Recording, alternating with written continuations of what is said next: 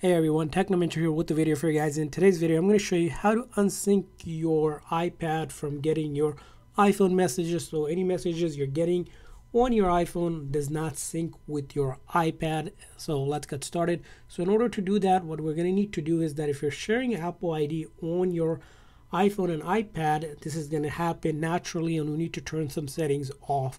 Now, the first and the most recommended way to do it is if you want to really unsync your iPhone from iPad is just using a completely different Apple ID for your iPad. But in a case you might want to use the same Apple ID, you need to do this. In the setting of your iPad, simply go into your Apple ID account, click on iCloud, and from there on, you're going to see that there's an option for apps using iCloud. We're going to show all, and then you can see your messages is turned on. We're going to click on it, and instead of syncing it, we're going to turn that sync off and then disable download. So basically, it will not download the messages that are saved from your iCloud account on your iPhone to your iPad. So you want to turn that setting off. And you go back here, we're going to go ahead and ensure that this is turned off.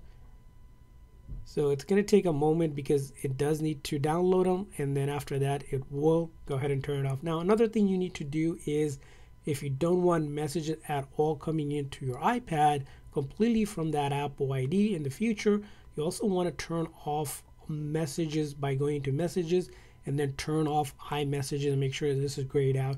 And with that setting turned off, you will no longer get any messages to your iPad. As you can see, here, it's asking me to sign in but I don't need to sign in. You can still use all the other services available, like downloading apps with the same Apple ID account, uh, doing anything else you need to do. You can sync your notes and whatnot with it. But if you want to stop unsyncing other items, we'll show you in other videos on how to do that. But basically, you need to go ahead into your Apple ID account, iCloud, and turn off any apps that you don't want to sync between your iCloud account from your iPhone to your iPad. And that's how you do it.